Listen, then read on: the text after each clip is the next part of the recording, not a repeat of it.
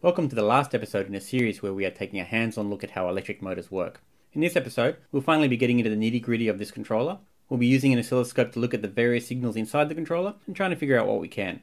This is a pretty long episode as I'm covering a lot of topics in one hit. I did consider breaking it up into a series of shorter videos, but decided against this in the end. Even so, there are multiple sections inside this video, and each of the topics are as follows 1. Planning and setup for the tests. 2. Fixing a problem inside the main controller board.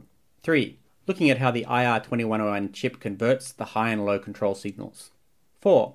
A full capture and stack up of all the control and motor signals, along with some detailed analysis. 5. A look at how this controller is using PWM to adjust the motor's power. 6. A look at how the controller achieves the braking effect. 7. A look at what return signals are sent back to the microcontroller from the motor. 8. Finally, I will work to figure out how the controller determines the motor's position without the use of sensors. Now, naturally, I would prefer you watch the whole video, as this provides a much better context that way. But for those of you who want to, feel free to skip around and watch any of the sections that interest you. So, enough of my waffle, let's get straight into it.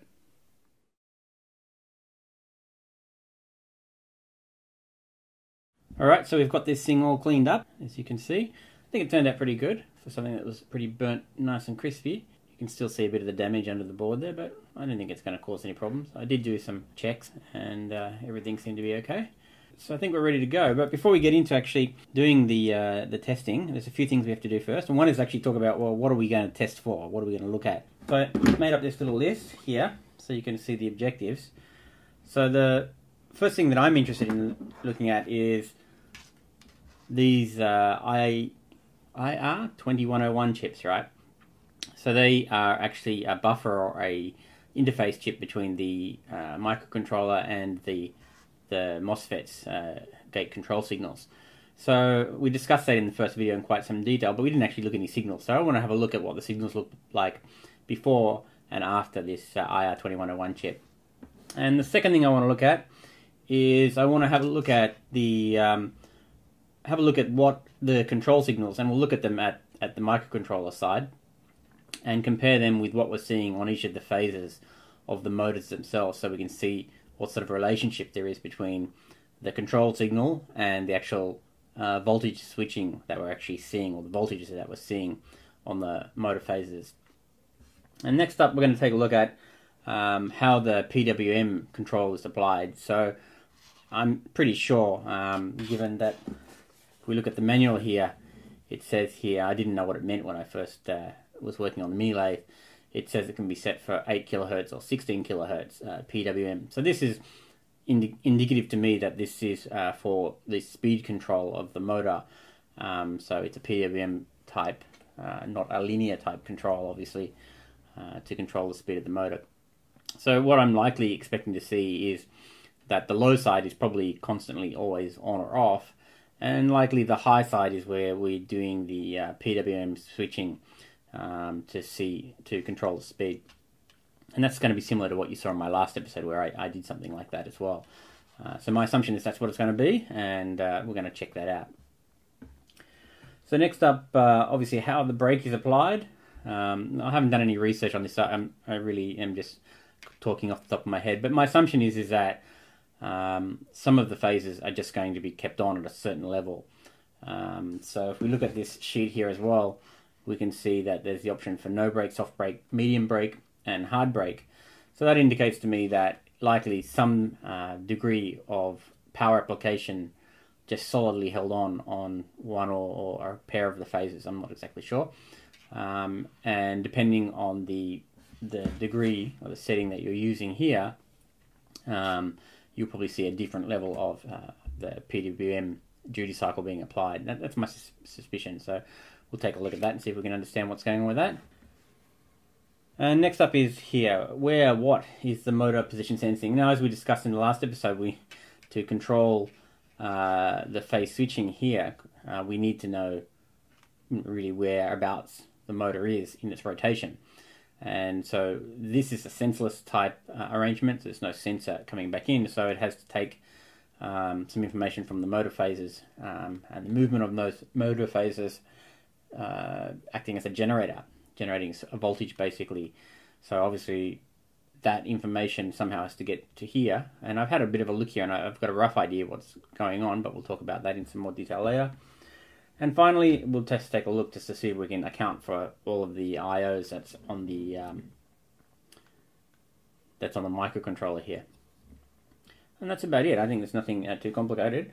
Uh, but to do the testing, um, we are going to be using uh, oscilloscope. So what I'm going to need to do is we're going to need to try to identify where we want to test and apply some test leads to here. So we'll be doing that coming up now. So let's get to it. So to test the MOSFET buffer chip input and output signals to see how they're being uh, adapted, um, I already checked the datasheet and I know that um, here is the inputs, input for the high side and input for the low side. And on the output side, uh, we have the output for the high side. You can see that wiggling around here for the high side. And over here is the low side, and this is probably dumping behind a, via and then uh, coming out over to here, I suspect. I mean, we can buzz that out just to be sure. So let's just do that. So this should be the low side. And yeah there it is there. So here to here for the low side and this is the the high side. So while we're here let's try to identify where these control input signals are coming from uh, from this microcontroller. And I have a have made a little diagram here which uh, has all of the I's and O's. And what I'll do is I'll just write down on this diagram where those control signals are coming from Let's get to buzzer mode. This is high for phase A, we'll call it. second one there. And the low. That's what I thought. So it's low, high, and next.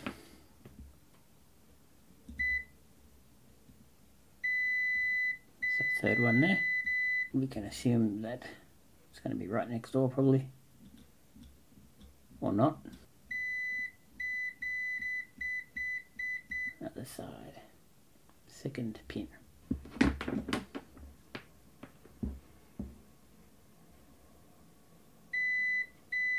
So it's that first pin there, right? Sure, it's rhyme or reason to why they've located them in these ports on the other side here now. Yeah third pin. So now we know where all those go to and on the outside here uh, we have high low A, high low B and then high low C for the control side. So from the motor phase uh, we assume we can see that here if we can get that on focus here uh, there's a voltage divider here this is a earth line which I've already buzzed out earlier. And there's a voltage divider here. What do we got there, folks? 47k and 4.7k. So it's dividing, so it's about one tenth of the, the voltage here. So we can see here the output of the voltage divider coming around and then going to suspiciously these three sets of uh, 47k resistors.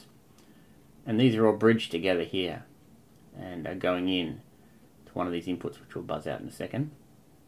And we can see that's repeated for the other uh, two phases as well. So this is identical.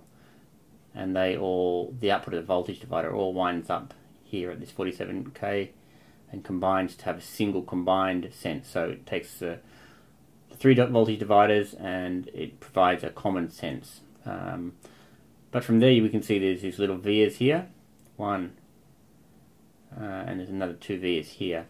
And they flip around and terminate, you can see here, these four holes, these four holes from the vias. And then there's these one, two, three. And they shoot around here. All three of these to this other side these three here and going into these ports here. So what we have is a situation where the each of the individual phases have a voltage divided or voltage lowered, you could say, uh, version of the uh, of each of the motor phases being fed back into the um, microcontroller here separately, and then there's a combined version of that as well being fed into the microcontroller. So I'm not sure exactly why they're doing that. I think there's a battery voltage sense here, which is being done via a voltage divider. I think this might be it right here. Right? Let's see these two resistors, 47k and uh, something much bigger, 8. That gives me two more, just 300k. Am I right, guys? I think I'm right. So that would make sense if that's a voltage divider. So I think this will be the negative, and I suspect this is going to the positive of the battery. And it looks like they've got a condenser, a capacitor on here to settle it down a little bit. And I expect this here. Right it's going into here and that'll be where they're sensing the voltage. And then there's this, little baby here which I really don't know what that is. Now there's a whole lot of other stuff here as well you can just take a bit of a look uh, so these two there's three right looks like should be some something going on here so this looks like it's not populated should be resistors or something here, right? So we can assume that all of these, uh, one, two, three, I think these are all like future use or dead ports. So we'll put a little cross on that. And, and we see something similar here as well. So these are probably all dead ports, I expect. Or maybe they put test signals out there so they can diagnose problems or something like that. So for the uh, for the motor control side of things, uh, we have here this A H and A L and then we have the B high and the B low and then the C high and the C low. We also have the sense for the A and the sense for the B, which I've managed to forget to write, and the sense for the C. And we have the combined version of those signals coming into there as well. And the battery voltage sense appeared to be going in here. So hopefully I've got the right chip here and these IOs are written the right way.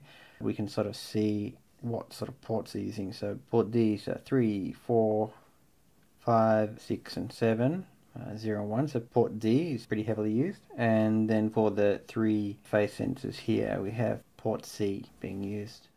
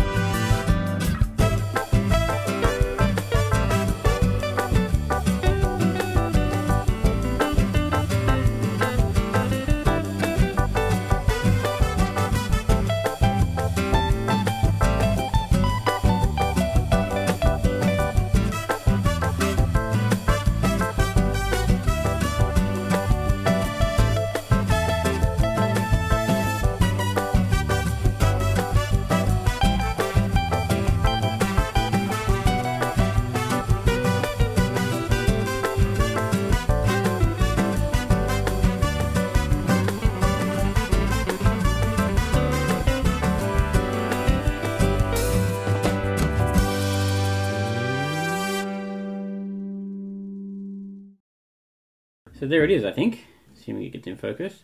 So on this side we have all of the uh, high and low control signals coming from the microcontroller, which we can test. And here we have the three return signals coming from the motor after it's been voltage divided. Here's combined signal. And then on this side, uh, we have each of the motor phases, obviously we can pick up, and the, uh, the high and low control signals that go to the actual MOSFETs.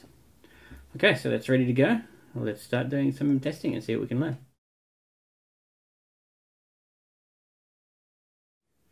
Okay, so unfortunately we're back at my rework bench and I was just tidying up a couple of these uh, test points here that I wasn't happy with and retesting them to make sure I hadn't shorted anything out given they're pretty close together.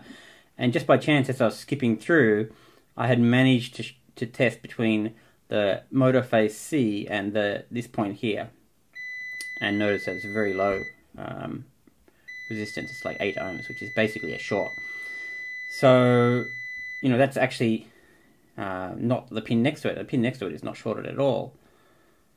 So the short isn't related to my soldering work, which is a good thing. Um, so it has to be something else. And looking at the circuit diagram, um, we know this is the motor phase C, uh, which is coming back into this board so it can get the motor position and also get the voltage reference for the uh, high-low uh, conversion that's done by this uh, IR2101 chip. So it basically goes to this IR2101 chip and the uh, the high control signal that is sent to the MOSFET is coming out of this chip, and they're actually next to each other on this pin here.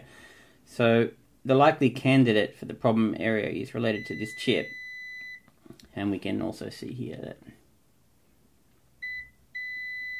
yeah, so these two pins look like they're shorted, but there's no shorting that I can see on the board, so I suspect there's something wrong with this chip itself. And uh, so we're going to have to swap this chip out and see if that solves the problem. Obviously taking the chip off, we can then check the chip off the board, make sure that the chip is actually still showing that same uh, problem. Uh, looking at some of these other chips, these are all identical. Obviously they should all read the same. We're not seeing that short state. In fact, this is basically open and open. And I have another one of these boards here as well. And if we check the same again, which is here, and here yeah we can see it's not showing that same symptom. So it's rather peculiar. Now I actually then uh, ran this ESC controller up and uh, and ran it on a motor and just had a quick look on the oscilloscope. And uh, unsurprisingly enough yeah it's not a, a, behavior of the chip or anything like that. The signal we're seeing on the phase and uh, high-low control signal were actually basically shorted it's the same signal whereas the other uh, channels were showing different signals. So I'm pretty confident. I would say I'm 90% confident, which is pretty confident. So I'll take one of these IR21 chips off here and uh, put it over here. So it's turning a bit into a uh, CuriousMarc type video, unfortunately. So we're going to have to try and solve the problems as we go. But I think after we do this, it'll all be okay. So let's get to it anyway. My little solder bridge is gone. Oh, I can hear the poppy poppy pop. That's a good sign. If we can get enough height, I'll have to get a little bit of the liveliness back into that solder. I mean, as you can see, the big ball of solder is now bridging onto the board, which is not well, not what we want. If I angle it this way a bit, we can gravity to work for us a little bit. Hopefully we can wick it out a bit and it'll disappear. Come on. There we go. Free with minimal damage to the chip. Well, it doesn't matter because this chip is dead anyway. Quality camera work there, guys. Here we go.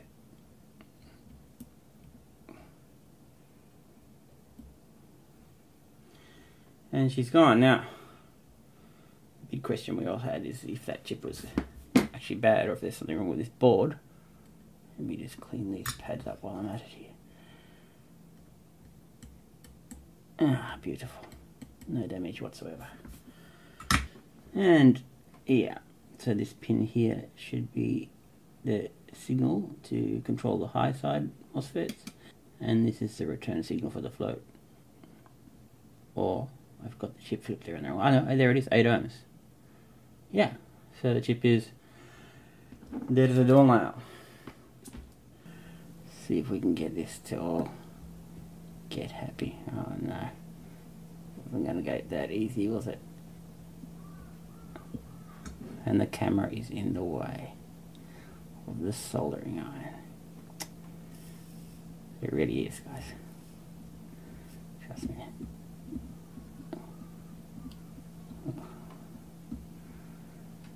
Oh, that looks done. Yeah, I might get him. Might might might get my glass out in a minute and just check it because you guys are going to be able to see that a lot better than I can on your big screen. Uh, look at that. There's no way I'm going to get in there with that camera in the way. Angle it down a little bit. Bit of down pressure because it's not going to move now with that other side all locked in place. So as long as you don't have too much solder in the mix, you can definitely get away with just using this uh, wedge. See if we get this into focus. Mm-hmm. What do you reckon? Is enough?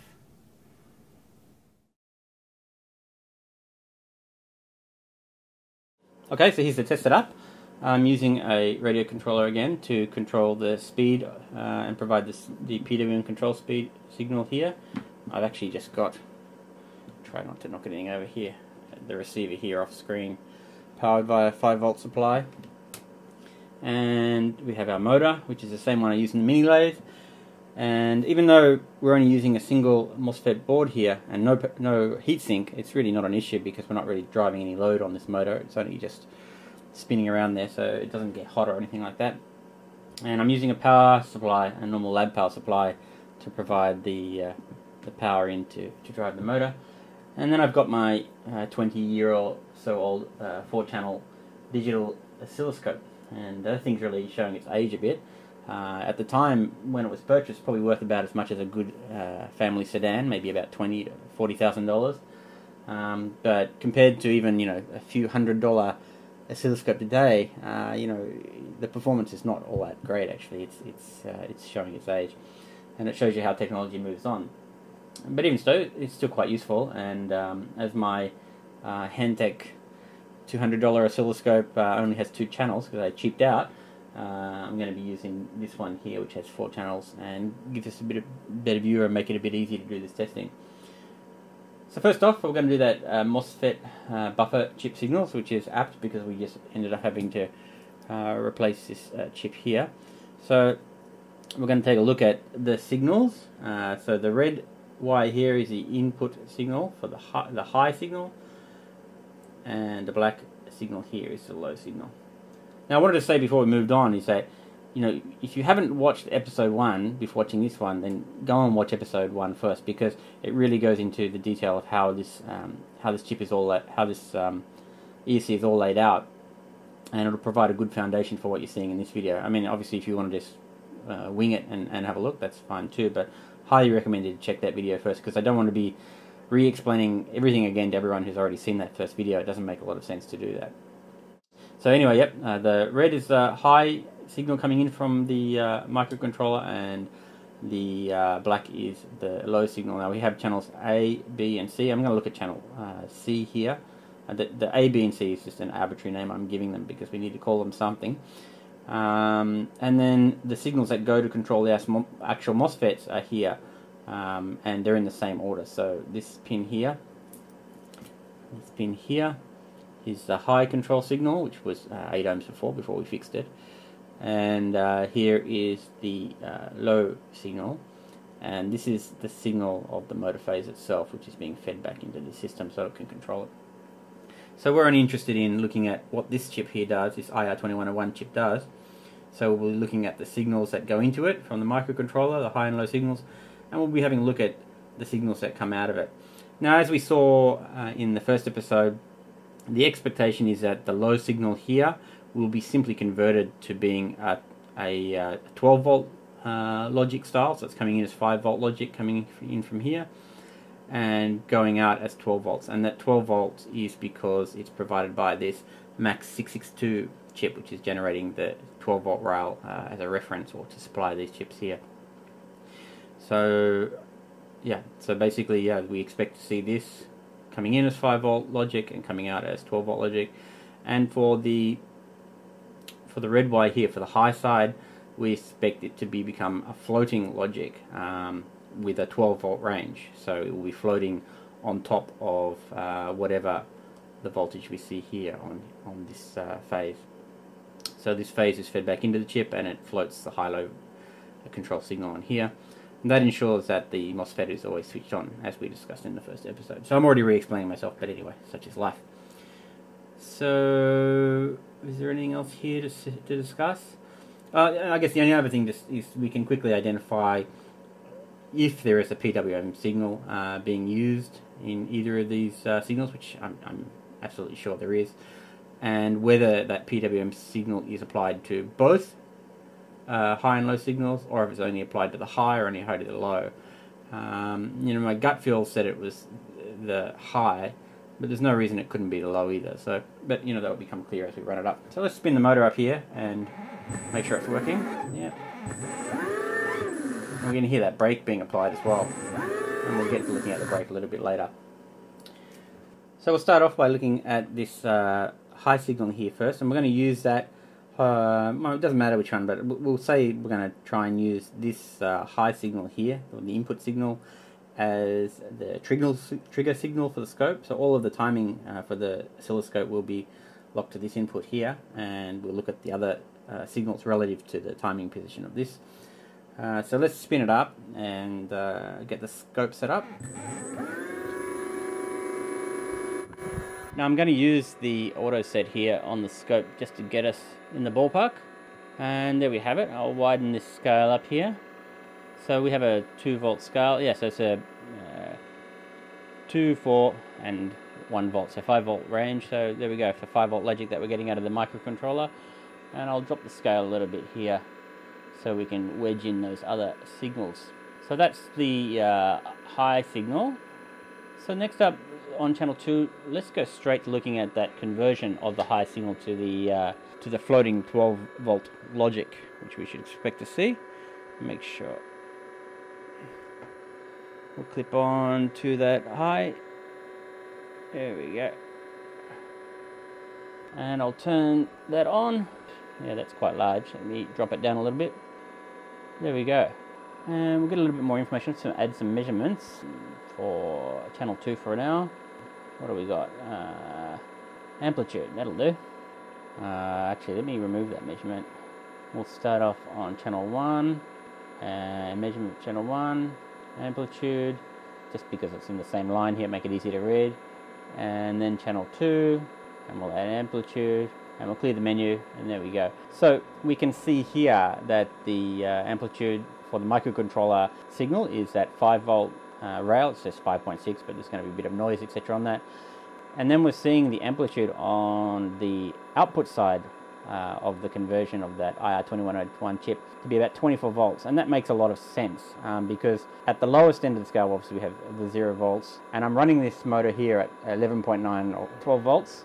So basically, we have the 12 volts of the of the power supply. So when that uh, high side MOSFET closes, it's going to go up to 12 volts. And at that stage, the floating voltage for the logic for the on state, which we want to hold as an on state, is going to add the 12 volts created by that, uh, stick my finger in the motor, by that 662 chip. So, you know, naturally we're going to see 24 volts. So that makes a lot of sense. So this is the point where it's being switched on and we can see here that, it's basically just being switched on so it's going to full on. And then in these other areas in the off state we also see it floating around here. And that's because the phase is actually changing in voltage in the off state as well. So in the off state you know we have other phases affecting this phase and we have the, the generation factor the fact that the motor is spinning and generating some uh, voltages uh, in the phase as well we can see that not only is the, the high state of the switching floating but the low side is also floating. And we'll just take a quick look at the phase itself so we can compare what the the motor phase is actually doing, see how that looks compared to the to the uh, to the floating value. Let me put that on channel 3 for a second. It's not what I want to do, but I'll do that just for a second. Let's turn channel 3 on. So that's what channel 3 is actually doing. And let's measure it as well. So yeah, it's uh, peak to peak 13 uh, volts or something like that. And so here we can see it's basically tracking. And if we go to the same scale and then we move it on top here, we can see there, right? basically the off state is, is tracking the voltage of the motor phase, and in the on state, we're getting that plus 12 volt logic being added onto the off state here. So yeah, everything makes a lot of sense. So I think we've got that pretty much cleared up. So now let's take a look at the, the low side of things. So let's uh, pop off this motor phase here and have a look at the input signal first. Hopefully not get this tangled up in there. There we go. And we'll change the scale, 50 the wrong way, 5 volts. So 5 volt logic, I don't see anything which is weird. Am I actually on it? Am I losing my mind? What's going on? Huh, I'm not on it. There we go. Okay, so on the input side, um, we see something quite interesting. First is we see that this is all white here. So this is indicative that it's actually PWM on the low side of things. So the logic signal is is uh, PWM here. So let's move that, move everything up a little bit for a second, get things so we get a little bit more space. And again, 5 volt logic. Uh, what we're going to see on the channel 4 when we turn it on, on the output side of the chip for the low side buffering, is it's just going to be switched to 12 volt logic. So let's just check it out and uh, we'll be done with that. I keep sticking my finger in that motor. That's pretty stupid. Stupid! Oh no. I'm not leaving myself a lot of space here to work. It's all for you guys, right? There we go. So, oh, so the, uh, there we go. The low side signal control. Let's take a look at that. Turn it on. Instead of getting cursors or anything, we'll again add a measurement for channel 4, amplitude, and surprise, surprise, it's that uh, MAX 662 chips uh, 12 volt amplitude. So, you know, really, this is an unnecessary conversion in some ways. Um, I mean, it guarantees that you're going to have enough voltage there to make sure that the uh, the MOSFET fully switches on. But I think for 99.99% of MOSFETs, you're probably going to achieve that at the 5 volts anyway, so uh, whatever, right? Anyway, that's what it does. It, it, at least it's providing a protection layer between the MOSFETs and the microcontroller. And uh, so if something does go wrong with the MOSFET and it's going to blow something up, it's probably going to blow up these buffer chips, which is in fact what we saw uh, with one of those chips already dying. Okay, this is future me popping back here to have a look at these uh, signal conversion through this IR2101 chip. Now, you've just seen uh, the basic idea of how those signals are looking, but as I was sort of getting a little bit more refamiliarized with this uh, oscilloscope, I remembered there's obviously mathematic functions, so I thought it'd be a good idea to use those functions, and let's take a look at the high side MOSFET is seeing from its point of view. So, you know, if we look at this signal here, I'll run it up. This is just the high side conversion that we're looking at. On the top here we have the 5 volts logic signal, and we have the converted signal, which is the floating signal, and we have the signal that is actually coming uh, out of the motor on that motor's phase. So this is what it's floating on. You know, this signal here is actually, it's not VGS, not voltage uh, uh, compared to gate and source on the MOSFET. It's voltage compared to the gate and zero volts. But that's not what the MOSFET itself is seeing. What the MOSFET's going to see is the VGS. So to create a simulated uh, VGS or have a look at it from the uh, MOSFET's point of view, we really need to subtract uh, this voltage here, because this voltage here is the voltage that's on the, the source, it's actually on that leg of the source pin. If we subtract that from here, we will actually have a look at what the signal looks like from the uh, MOSFET's point of view. So let's do that. We'll do some maths, maybe change math waveform definition, okay? A dual waveform math. Here we go. Set operator to negative, set first source to channel 2, and we'll subtract channel 3. Okay. Oh, there it is. Let's see if we can get it into view. And clear the screen, increase the scale. Oh, there she go. There it is. So there you have what the VGS will look like from the MOSFET's point of view.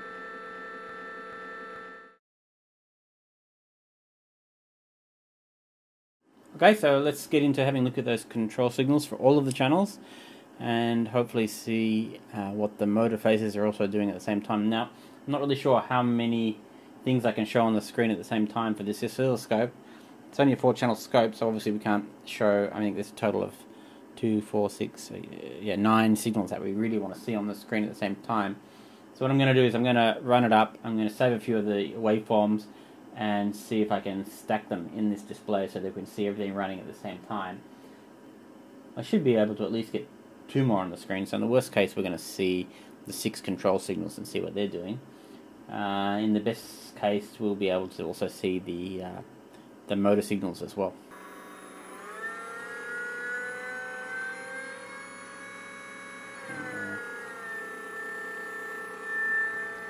maybe there. We'll move the trigger so it goes back a little bit. Trigger position, 5%. So we can see the first and the last. And we can see the PWM coming here.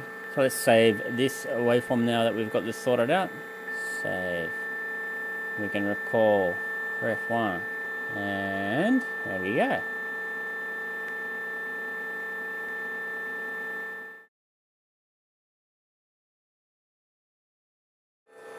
Should be enough there for us to figure this out. Alright, so this is the tricky bit, trying to figure out what all of these signals mean. Now in the first video in the series, I discussed the basic switching mechanism for this ESC. I also used a diagram with a delta style windings as a demonstration, along with notes saying that there are other types of windings which are used. Actually, this diagram was a little bit wrong, as I only showed the current flowing through one of the coils and the windings, but of course the current will flow through the other two coils as well. But naturally this is only going to be at half the rate, given there is double the resistance in this part of the circuit. It was also seemingly wrong of me to imply that this delta style winding would work with this type of sensorless ESC. It won't. I should have shown a Y style winding instead. Let me explain why with this simple diagram. In the case of Y style windings, as shown here, if we energize between points 1 and 3, then only coils A and C will be energized to push the motor. Coil B is basically free to act as a generator as the magnets approach and recede, and this voltage is output at point 2. It's this generated voltage which is critical to the sensing of the rotor's position and fundamental to how the back EMF sensorless mechanism works. In the case of delta windings, no matter how you power the motor, a solid voltage is always going to be present at each wire of the motor. And naturally, that's going to make any voltage generating effect much more difficult to detect. Now, my misunderstanding in the first video was driven from the fact that many internet forums seem to indicate that Y and delta windings are pretty much interchangeable, and none of them I saw really mentioned any concern about this sensorless positioning issue. So the lesson here, treat any information you see on the internet forums with a grain of salt. Actually, I normally do, but I'll let my guard down here a little bit. So after a little bit more searching, I did find an interesting IEEE study document, and it was discussing possible strategies for sensorless position sensing using delta windings. Right at the start of this document, it clearly states that sensorless brushless motors are typically wound with the Y style configuration. And it also states that that's because an unpowered phase is required to detect the back EMF signal. Now, I didn't read all the document, but the key takeaway was that sensorless motors typically use Y style windings. So for this video, we're going to stick to looking at motors with Y style windings and leave delta versus Y issues for another day. So with all that said, let's take a look at those signals we just captured. Now up until now I've been calling those motor wire connections as phases A, B and C, but I'm going to switch that to calling them wire connections 1, 2 and 3 from here on, so I hope it doesn't confuse anyone. Instead I will use the A, B and C to identify each of the coils inside the motor windings. So with a quick look at this capture, we can see a sequence of six uh, unique events that are continuously repeating to drive the motor. The top three signals here indicate if a positive voltage is being applied to the wire, with the next three signals indicating when a negative voltage is applied to the wire. By negative, I mean zero volts, ground, or whatever you like to call it. The last three signals shown here are the voltages as we measure at each individual motor wire. Effectively, the controller has a tri-state control of each of the individual motor wires, and this allows for setting each wire as either being positive or negative voltage, or alternatively, not applying any voltage to the wire at all. So you just need to keep that in mind when looking at the voltages that we see at the motor wires themselves. If we look at this first event, for example, we can see that the wire 1 is connected to the positive constantly, and that wire 3 is quickly cycling between negative and being disconnected. That cycling is the PWM method being used to control the amount of power that is being pumped into the coil in the motor. So in this case, each time that wire 3 is pulled down, energy is being dumped into coils A and C. We can also see that wire 2 is disconnected for the duration of the event. So it's pretty easy for us to understand the voltage we are seeing at wires 1 and 3. But what about the voltage that we are seeing at Y2? What should we expect to see there? Well, effectively coils A and C will act as a 50% voltage divider. It's just the same as if you had two same size resistors running in series. So let's just pretend that these coils are not actually in a spinning motor for a minute. When the wire 3 is not pulling down, we would expect wire 2 just to show the same voltage as provided by wire 1, of course. But when wire 3 is pulling down, we would expect wire 2 to pull down 50% of the voltage. In theory, it would look something like this, right? But if we take a look at the actual captured signals from the motor, we see something that looks quite a bit different from this. At first we see a full positive volts, which then eventually ramps down to something like that 50% pulse signal we had originally theorized about. So let me try to explain why we see this difference. Even though we can't measure it, the voltage at the center of the Y will in fact be that 50% PWM signal. But as the magnets approach and recede from coil B, additional positive or negative voltage is generated, and that causes the voltage on wire 2 to either rise up or drop down a bit. So at first we see additional positive voltage being induced into coil B, and this appears to be enough to cause some type of saturation that absolutely wipes out the negative component of the PWM pulses. But then as the rotor position advances, the generation effect subsides, and we start to see that half-size pulses returning to the nominal level that we originally expected. In the second event, we see something a little bit different, but the underlying effect is much the same. In this case, we see a negative voltage is first being generated, pulling the pulses down towards zero volts, before they return back to their nominal level. At least with this event, we can confirm that the half-height pulses are in fact present for the duration of the event, even though the DC level changes a bit. In both of these cases, the timing that the voltage either rises or falls is going to be directly linked to the position of the rotor. So I think it's going to be a pretty safe bet to say that this is what is being used to detect the motor's position.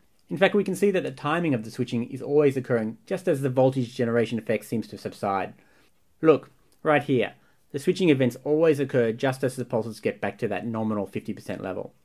What's also really obvious with this is that there's really no way to know the motor's position unless the motor is actually rotating, generating that back EMF signal. I guess that explains the jumpy starts we see with these type of motors at times. There's also another conundrum here that needs to be addressed. As you can see, these back EMF signals are pretty messy, with all that PWM garbage mixed in there. And it's not immediately obvious to me how the microcontroller could easily interpret them. Well, let's not get ahead of ourselves. Later in the video, we will take some time to try to figure out what that all means and how that all works. For now, I want to focus on the powering sequence of the coils and how that relates to getting the motor to actually spin. Now, just looking at the captured waveform here, it's a bit hard to visualize what is actually happening in each of these six events. So I've created this little diagram which directly takes each of the events and shows how the coils are being energized along with the position of the rotor itself. Now hopefully I've interpreted this correctly even if I've got a little bit wrong, the basic concept should not be far off in any case, so I, I think it's meaningful no matter what. This motor I'm showing has 14 magnets in the rotor and 12 coils in the stator, wound in a typical pattern for this style of motor. I'm using uppercase letters for the coils wound clockwise and lowercase letters for coils wound counterclockwise. And naturally, these opposing winding directions are going to generate opposing polarity magnetic fields when the motor's running. Now, to be honest, I'm not bothered to figure out what exactly might be north or south magnetic poles in this diagram, and for this discussion, it's just simply not important. Just as long as we can identify where like and opposite poles exist, and at the same time keep in mind that opposite poles are going to attract and like poles are going to repel. To this end, we will just stick to calling these opposing poles as being red and blue poles for the discussion, and try to avoid any backlash in the comments, which I'm sure I would get if I get it wrong. Here on the right side, I'm going to show how the coils will be energized with each event, uh, with motor wires 1, 2 and 3 along with coils A, B and C shown. As per the waveform, uh, the first step has wire 1 being positive and wire 3 being negative, and wire 2 is not connected in either way. And to try to keep it simple, I'm going to ignore the PWM component for now, so negative is just negative in this diagram. Positive is shown is orange, negative is black, and white is not connected.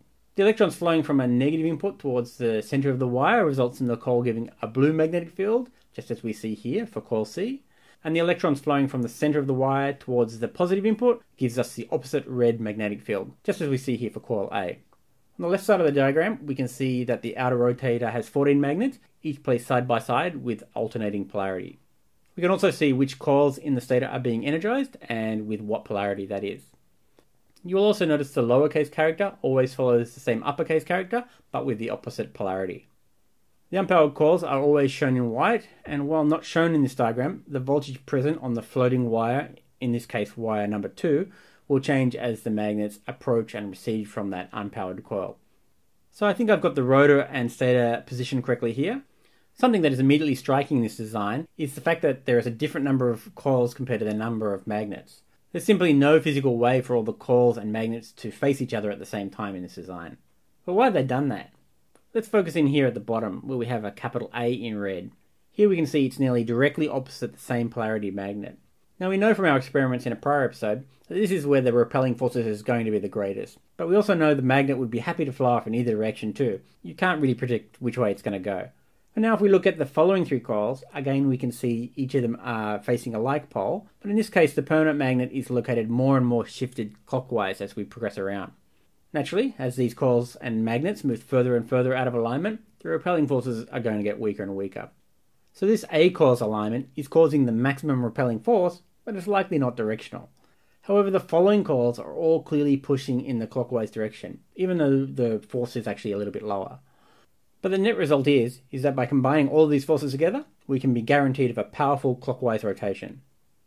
Now we only focused on the lower half of this motor so far, but if we take a look at the upper half too, we can see that the exact same forces are at play, albeit the polarities are all reversed. To sum this all up, the unequal number of coils and permanent magnets we have here ensures that the rotor and stator could never be aligned to have a non-directional teetering point. It ensures that the net forces can always be biased to rotate one way or the other.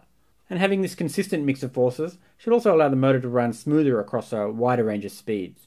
So I think you get the general idea. Let's now step through each of these events and see how it works overall. Now as we start to rotate towards the second event, we can get some idea of how the permanent magnets would be inducing voltages into that coil B. And then as we hit event 2, coil A stays energized, just as it was before, but coil C now switches off and coil B takes on the blue polarity. After the switch, we can see the same type of alignment of forces are maintained, continuing to push the motor in a clockwise direction. So let's keep going.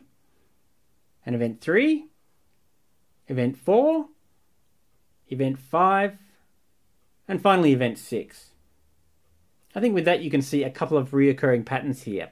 The first is the order that the wires are being energized in. You can see a given wire always keeps its state across two consecutive events. But since the positive and negative switching timings are offset by one event, this results in a sort of tag team handover across six unique events. The second thing to note is the pattern of the coil's energization, which is remaining the same as it moves around the motor. It actually looks like it's chasing the rotor. It sort of reminds me of a kid who's running alongside of a hoop, pushing it along as he goes. Alright, so there you have it. Let's get on to the next bit.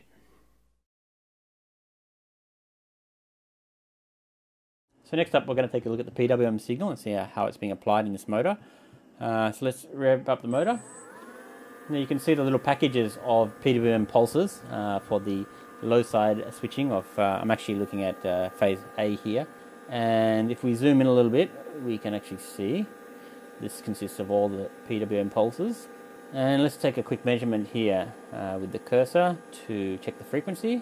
So from here to here, 16 kilohertz and that matches up pretty well with the uh, the setting that we see here. 16 kilohertz uh, is the, probably the default setting given this what it says there. Uh, obviously you can use 8 kilohertz as well but uh, you know obviously that's going to reduce the number of pulses per package and at some of the higher speeds you're actually going to get quite a, quite a rough sort of uh, cut off I guess of the package of pulses and the pulses themselves. You can see here it's a bit difficult to see, but actually the first pulse is actually being cut off, so the pulses are not actually timed with the frequency of the motor. It can't be. So the first pulse is sort of chopped up a bit, and then the rest of the pulses remain complete, and then likely the tail pulse also gets chopped off a bit. So if the frequency was too low, then it really starts to clash heavily with the, uh, the, the package of pulses as well. So it'll get quite chunky and, and could actually become quite unstable at, in some situations. But so anyway, 16 kilohertz seems to make a lot of uh, sense for this. And if we have a look at how the PWM is working, as we increase the speed, we can see that um, the size of the pulse or the duty cycle is increasing. That means that power is being applied longer. Uh, more power is being applied during the, the, the, the, package of pulses. And that makes the motor run faster, obviously. And as we reduce slower, uh, the duty cycle is reduced and the less power is being applied between each package of pulses and obviously the motor is going to run slower. We can also see here that uh, regardless, so we see here the, the timing 16 kilohertz, regardless of the of the speed um, or the way the power is applied, the frequency remains solid at 16 kilohertz, so that, that is not a changing factor. But if we look at the package of pulses, we can see that the frequency that the package pulse follows along with the speed. And that is exactly what's happening, is that these, this power is being applied uh, in synchronization with the, with the speed of the motor itself, and the amount of power being applied is by the size of the duty cycle um, of each of the pulses in that pulse train. To go faster, the duty cycle would increase, applying more power, making the motor go a bit faster, and therefore the, the speed increases and the frequency of the pulse train also increases.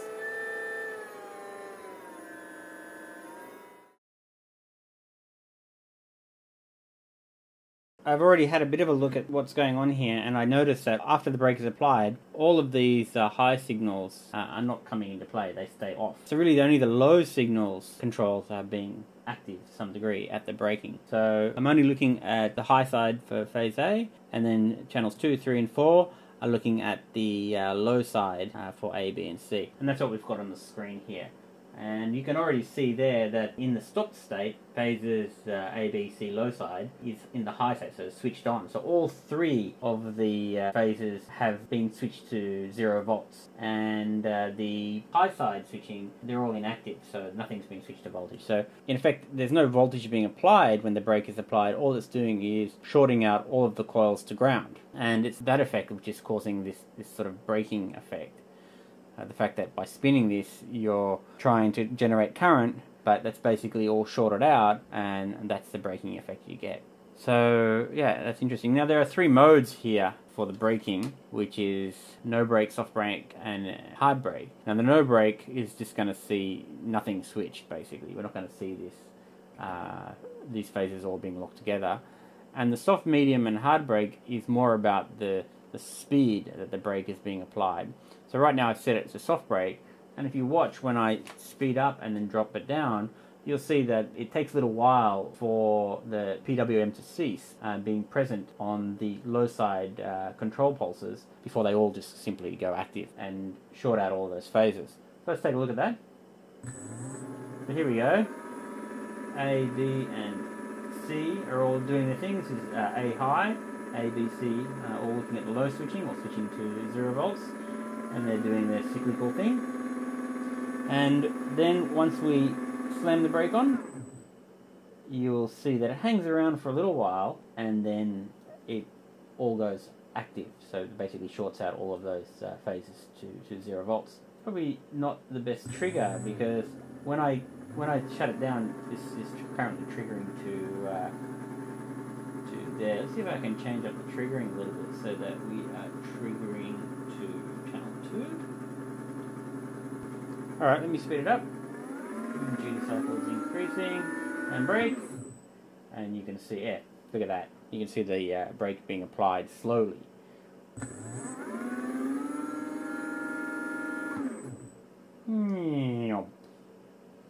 One more time. And all of the phases are being applied right. So this is uh, cyclical with the phase switching, but when I hit brake, all the phases go into that braking mode state. So let's uh, let's switch things up again, and uh, I think we'll go straight to hard brake and see how quickly that changes. So let me change the setting. One, two, three. One, two, three, four. Okay, that'll do. Okay, settings done. Let's check out what the brake looks like now. Let's go. You ready? And brake. Oh yes, basically gone nearly immediately.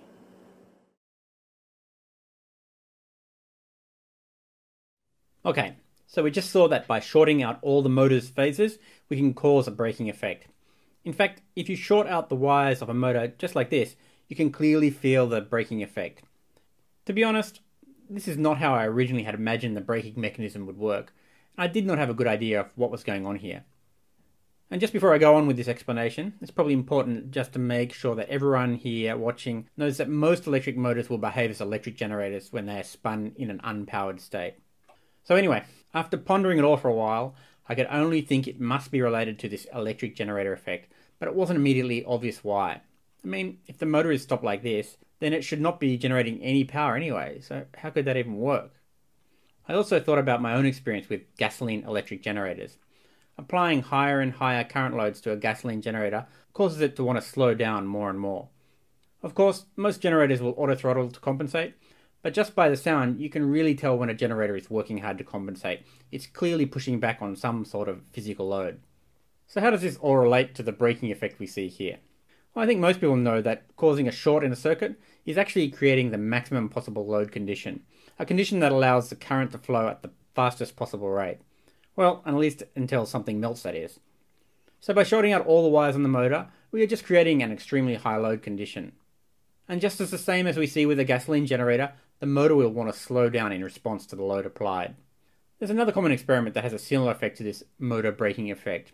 If you drop a magnet down a long copper tube, Instead of just falling at the bottom quickly, the magnet slowly moves down the tube, like some type of magic force is slowing its fall. Do a quick internet search and check it out yourself. There are a couple of videos covering this experiment, they're quite interesting to see. So what's happening here is, as the magnet moves down the pipe, it's inducing a current into a localized area in the pipe. And similar to shorting the wires of the motor, the copper pipe behaves as a short circuit, which in turn results in an extremely high current load. And it's this high current load state that causes the magnet to slow down, similar to how the motor or, a generator would. At first glance, this all seems a bit counterintuitive. I mean, the higher the load condition is, the faster the electrons are moving, right? But the faster the electrons move, we see the slower the motor wants to go. It's pretty weird, right? But there's a pretty logical and easy to understand explanation for this behavior. Let's recall these basic principles. The first, a magnet moving past a wire induces a current into that wire. And the second, a current moving in a wire creates a magnetic field. All pretty basic concepts that most people have learned about in school, I guess. But there's a third principle that's hidden in here, and one that most people are not usually thinking about, even though they understand the first two pretty well. And that is that, whenever the first principle happens, it must also cause the second principle to occur too. Now, by combining them, we can say that moving a magnet past a wire induces a current into a wire, and then this current then creates a magnetic field. The strength of the magnetic field will always be relative to the amount of current being induced, and the polarity of the magnetic field is always opposing that of the original inducing magnet. And with this, we finally have the answer for these mysterious load or braking forces.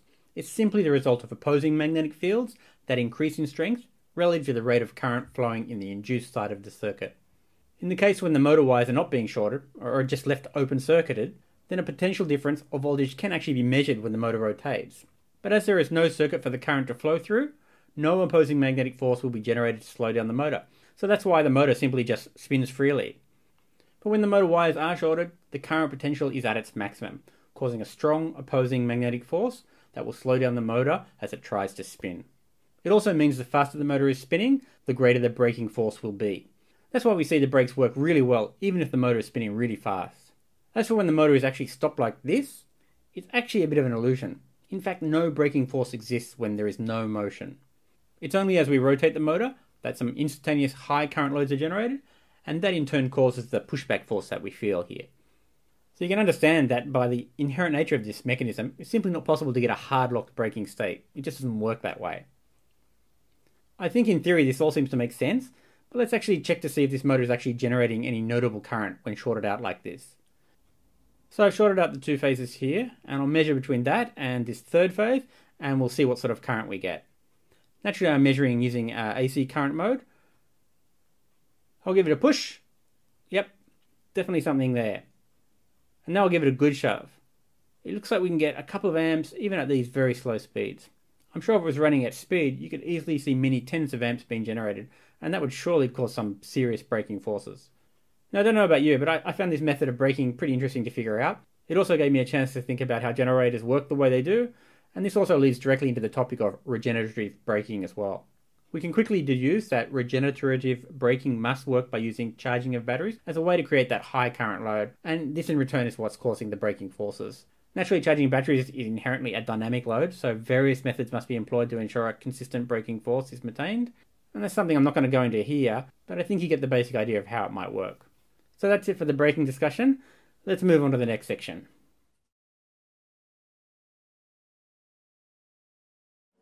Alright, for this last bit we're going to take a look at the signals that are being fed back into the microcontroller from, uh, from the motor.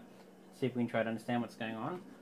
I'll probably have to do a post analysis on the signals a little bit because, you know, just looking at here on the scope, it's not going to probably occur to me straight away exactly what's going on. Let's have a look anyway. So we have those uh, three signals which are being voltage divided down. And the voltage dividers here. It's one, two, three feedback signals that are going to this microcontroller. And those are also being combined via uh, three resistors into a combined signal here. So let's just take a look at what those signals look like and see if we can uh, at least just get an idea of what's going into the microcontroller and then we'll talk about it.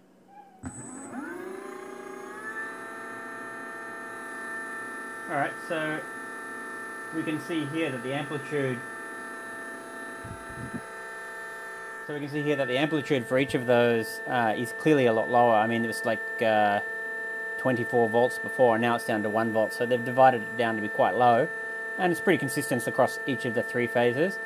And this combined version here is really tiny, right? 20 millivolts amplitude. I don't know if that's right, but the uh, the scale is 500 millivolts, so it's probably not right. Uh, it's probably all this noise and stuff confusing it. So it looks like it's around about, uh, yeah, maybe about a volt as well, something like that. So it's not really changing it. Yeah, it's just summing those three together. So let me uh, stop the capture here. So as I said, we'll probably do a, a, little bit of a post analysis on this after I get it on the desktop and have a look at what these singles are. But, you know, there's nothing glaringly obvious. I mean, there's a few things that come to mind is that, well, this amplitude of 1 volt, and this will probably be about 1 volt or so as well, you know, how is the microcontroller actually inputting that? I mean, if it's a... Um, if it was treating it as a logic-based signal, a pretty noisy one at that, uh, you would expect it to be exceeding 1.5 volts at least to get a high state, and it's not even getting above that. So, so that means that you know either they're doing something I don't understand, uh, or they're using the analog to digital converter to pick up on these. Um, but again, that that also you know, maybe the analog to digital converter is really fast in this uh, microcontroller, and I'm not very familiar with it.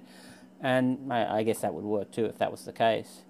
But you know, when we're talking about the three phases, you know, the combined one, you know, all you can really see here is that if the motor's uh, running or not, I guess. So you know, if there's a, a constant amount of signal being there, then you could say that the motor is is running. Um, and on this side here, you can see that uh, it's misshapen, and we've seen in the other uh, capture as well. The misshapen means that this there's some sort of um, effect of the coil uh, affecting the shape of this signal, and I suspect it's likely that it's picking up on some, some aspect of the shape of this signal to decide the timing. So, you know, I don't know exactly what that is. Uh, as I said, I'll get it offline, and we'll have a bit of a look and see if we can break it down a bit and figure it out.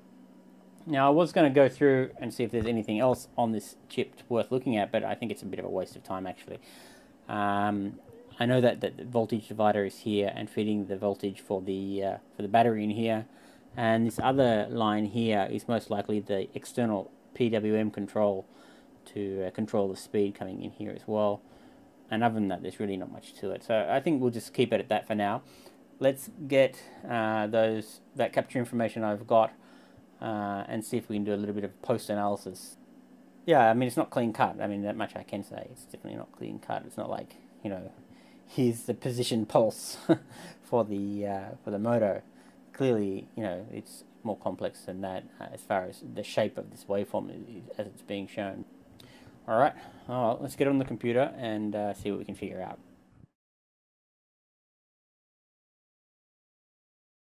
So after seeing those signals and, and obviously not really understanding what was going on, I decided to go back and have a look at the datasheet. And the first thing, looking at the pinouts, um, we can see that this PC2, PC3, and PC4, which is where those individual uh, sense signals are going, it says that it's got an ADC, and I think I've mentioned that earlier it's possible that they're using an ADC to sense those very low voltages. You know, they're around about the one volt peak mark, so they're going to have to do something other than a, a purely logic uh, level sort of analysis on it. So the first thought was that maybe that they're using the ADC to do some quick sampling on that, but you know, the frequencies involved are very, very high. You know, to be able to get an accurate sort of read on it. So for me, that doesn't make a lot of sense. So if we have a look at page 189 on the datasheet, we can see some information about the analog to digital converter. You know, it's indicating of uh, you know maximum resolution of 15,000 samples per second. So you know across those three channels, having this running at maximum frequency, you know you might you might be able to get some sort of information, but the the resolution is going to be way too low, I think, for, for the requirement. So there has to be another answer. So you know again looking at the the pinouts we have to look at the next thing on the on the order, which is the the combined signal. Those three signals where they're combined together, which is an even lower. It's a slightly lower signal than the simple voltage divided signals. And we can see that on PD6 where it comes in here, it says it has AIN0. And the only other similar pin like that is this AIN1, which is on PD7. So, so there's something there that's interesting. And after a little bit of searching, I found, if we look at page 186 here, I found that this uh, AIN 0 and, and 1 here is actually going directly to a analog comparator. Now this makes a lot more sense.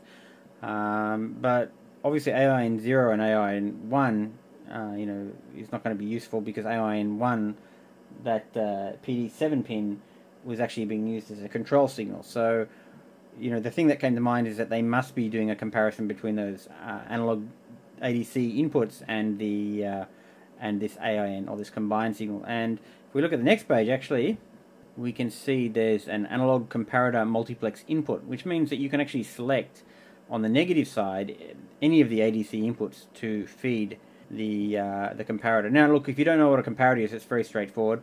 It's basically just comparing two voltages, sort of like if you played Minecraft, you'll know what that's all about. Um, and if one voltage exceeds the other, the it will be converted to a logic state of being high or low. So it's just a simple way of comparing two voltages if one's greater or less than the other and converting that to a, to a high or low uh, logic status.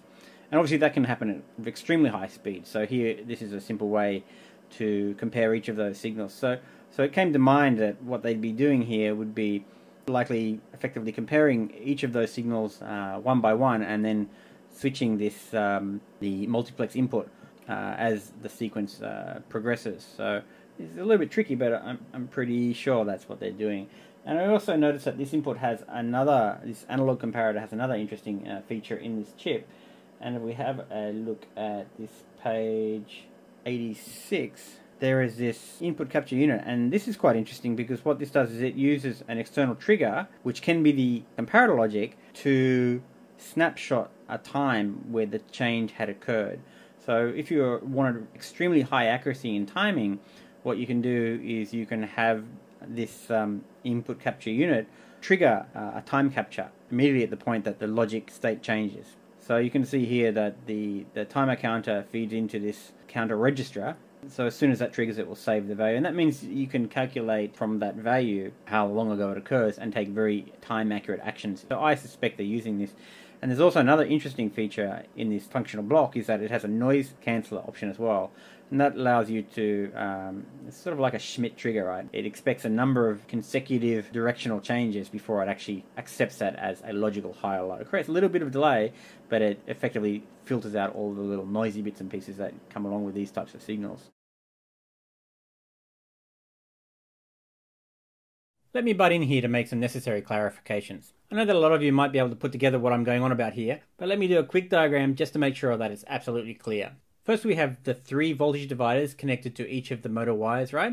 This ensures the microcontroller will only receive voltages within its operating range. And then we have this other resistor array, which is used to combine all the three signals, and then this is fed into the positive input of the comparator within the microcontroller.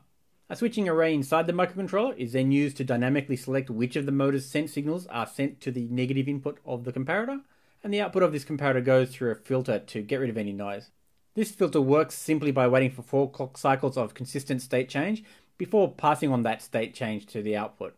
And then we have this clock capture mechanism. It will capture the current internal clock value at the point that the comparator changes its state. This will be whether it goes from low to high or high to low, depending on how it's configured at that specific instant. I expect the capture action will also be configured to trigger an interrupt so that the software can respond in a timely manner. The software will then pick up the clock value and it will use it to schedule the change to the next event. At the same time, it's going to reconfigure the comparator so it's ready to capture the next expected event. And that's pretty much it. That's how this system sort of works. I can only hope it's a little bit clearer for at least some of you out there. Anyway, let's get back to what I was going on about before. Now, unfortunately, I can't really replicate comparator. I mean, I could. I could probably externally put a comparator and we could have a look at what the logic would look like as according to the way that the uh, microcontroller sees it. But that's a little bit difficult. So what I'm doing is I'm just subtracting each of the waveforms um, from. Well, let me have a look just to make sure I understand what I've done here. So channel one is the um, is the combined signal, or all three signals combined together. It's a little bit of a lower level signal um, and I'm subtracting from it uh, each of the different waveforms. So I have three versions of that. So let's just take a look at that running and see what it looks like, just to get a bit of an idea. Now, comparator works a bit different. It doesn't just subtract. It's actually, you know, looking for the, the, the difference point. But in any case, it's sort of similar, and it will give us a bit of an idea of roughly what might be going on here.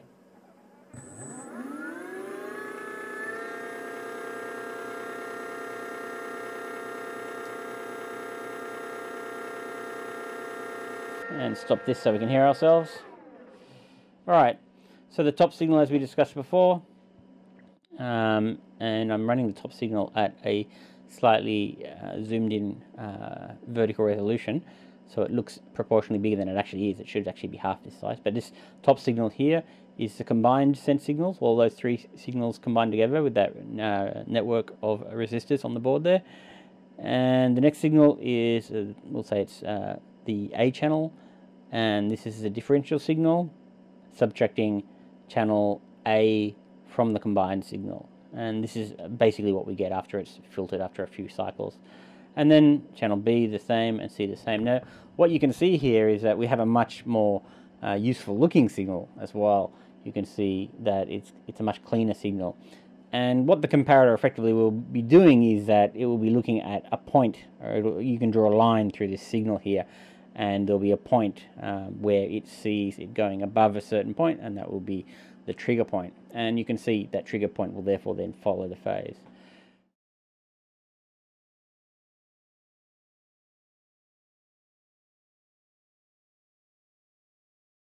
Now unfortunately one thing I realized at the end of this production is that I forgot to do any signal capture for the startup sequence of the motor and the controller.